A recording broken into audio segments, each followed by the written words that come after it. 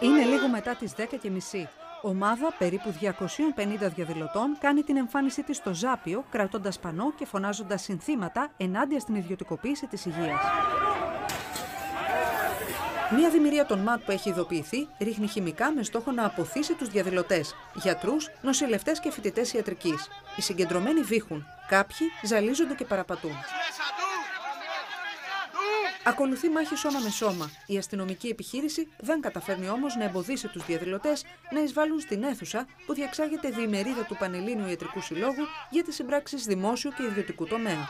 Η Ομοσπονδία Ενώσεων Νοσοκομιακών Γιατρών Ελλάδας καταδικάζει τη χρήση αστυνομικής βίας. Εκφράζουμε την πλήρη αντίθεσή μας στην επέκταση των συμπράξεων δημοσίου και ιδιωτικού τομέα στο χώρο της υγείας. Υπερασπιζόμαστε το δικαίωμα του λαού σε απολύτως δωρεάν υψηλού επίπεδου υπηρεσίες υγείας. Οι μέλη του Πανελλήνιου Ιατρικού Συλλόγου είναι γιατροί επιχειρηματίες της υγείας θέλανε σήμερα να πουλήσουν την πραμάτια τους στο δημόσιο σύστημα.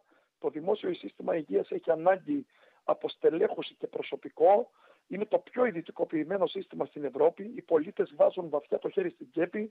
Δεν μπορούν να το βάζουν ακόμη περισσότερο. Οι διαδηλωτές κλείνουν τα μικρόφωνα και καταγγέλουν από τις δουντούκε τους διοργανωτές. Σε αυτό το διάλογο όλοι έχουν δικαίωμα να ακουστούν. Δυστυχώς οι εντός εισαγωγικών δημοκράτες δεν αντέχουν την αντίθετη άποψη και ήρθαν σήμερα και παρεμπόδισαν με αντιδημοκρατικό ε, εντελώς τρόπο ε, να ακουστεί η άλλη άποψη. Κάτω τα χέρια από τα νοσοκομεία! Θέλουμε δημοσία και δωρεάν υγεία! Η εκδήλωση, στην οποία είναι προσκεκλημένος και ο Υπουργός Υγείας, αναβάλλεται.